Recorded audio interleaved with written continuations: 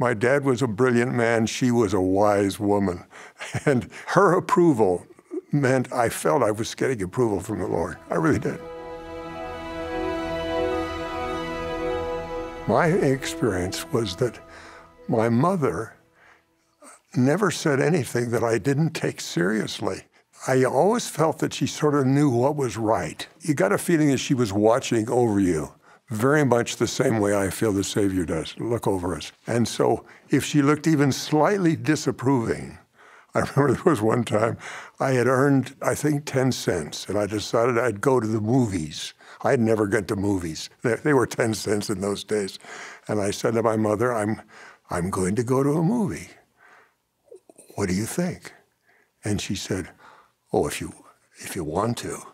And I thought, oh, darn, I can't go now. Because I could tell there was just, and to this day, I wonder what was in that movie that she was inspired to say, no, don't go there. And she was like that. My dad was a brilliant man. She was a wise woman.